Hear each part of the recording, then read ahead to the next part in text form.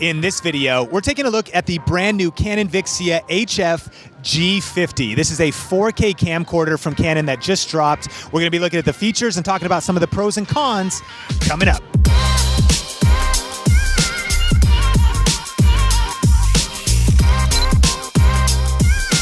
This video is brought to you by TubeInfluence.com, a one hour online masterclass on how to grow a highly influential and profitable YouTube channel this year. On this free training, you'll learn the proven strategies and current best practices for growing your subscribers and creating passive income with YouTube.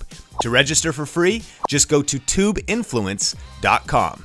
Hey, what's up? Sean here with Think Media, bringing you the best tips and tools for building your influence with online video. And we're here at CES in Las Vegas looking for the best tools for creators this year. And I'm super excited to be checking out the brand new Canon Vixia HFG50. Now, this is a camcorder, and on our channel here, we talk a lot about DSLRs and mirrorless cameras. So why exactly would you want to pick up a camera like this? Well, let's go through some of the specs. So first of all, the big feature in this new camcorder is this is the first time that Canon has put 4K video in a body like this. So now you can do 4K at 30 frames a second, 1080p at 60 frames a second.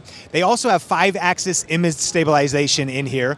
And there's some benefits of this being a camcorder. Now, when you look at a DSLR and a mirrorless camera, those give you lens changeability. They also give you the depth of field. In a camcorder like this, the intent is a little bit different. You're gonna want long form content. So when we cover workshops, when we have conferences, and maybe we're gonna talk for over 30 minutes, which is a big drawback of a lot of DSLR and mirrorless cameras. They have a 30 minute time limit and you have to restart the recording. Well, this is gonna be nice for teaching seminars, teaching classes, doing things like that.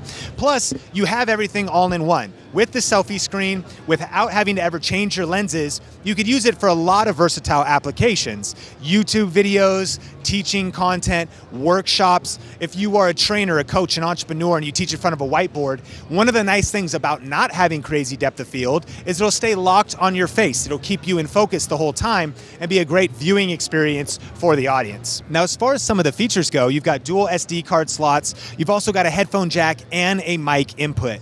So again, a lot of the features you normally want on a DSLR or mirrorless camera are packed directly into a camcorder just like this at a price point that's reasonable, especially with getting 4K video ability all in the package. Now, if you're thinking about investing in a new camera this year and you're torn between a camcorder versus a DSLR or mirrorless camera, I actually have a dedicated video where I really go deep into the pros and cons of each of those. So I'll link that up in the description below as well as put on the YouTube card. But as far as my final thoughts, I'm actually very excited about this and I want to pick up one because it, it's different than what we normally use for shooting YouTube videos. When we sit down and shoot content that is even like this, it's gonna be five, 10 minutes, 15 minutes. But when we do workshops, when we do live trainings, and we're gonna go longer, or this would also be really great for live streaming. Of course, you have all the inputs to hook it up and be able to go live um, for 30 minutes, an hour, do Q&A for two hours. And so I think the ability to go create long form content, the fact is both have a purpose. DSLRs and mirrorless cameras have a purpose, storytelling, photography, and all of that. Camcorders are definitely more for long form content. And so I'd love to hear from you. Are you planning on upgrading your camera this year? And what camera are you thinking about picking up? Let me know in the comment section below.